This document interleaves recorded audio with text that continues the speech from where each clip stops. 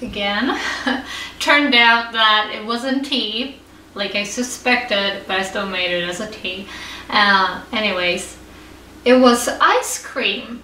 So I've been making ice cream for the past three hours. Well, it only took like five minutes to whisk it together because you had to have the um, you had to have the thing the matcha in 200 milliliters of milk and whisk it together and put it in um, the freezer for three hours. And it's finally done.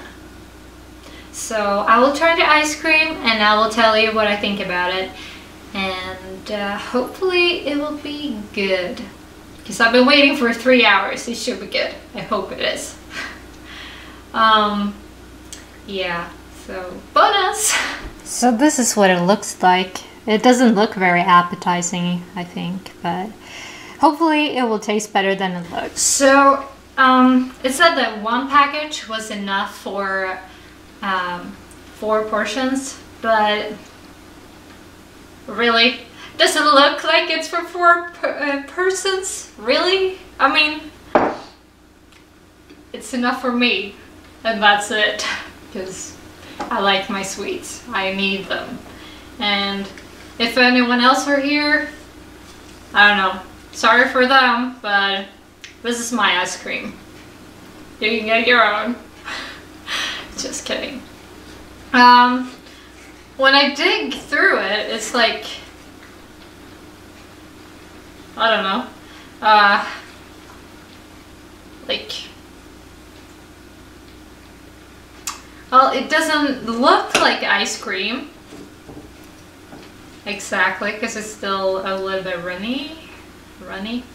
Um, but hopefully it will taste good. Um, so, there we go.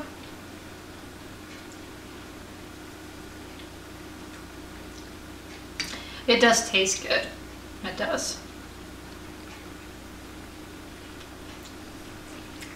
Uh, they said that it would be better if you had like um, whipped cream or red beans on top, but I think it's fine uh, just like this, but yeah, I think whipped cream should have been really good on top of this too.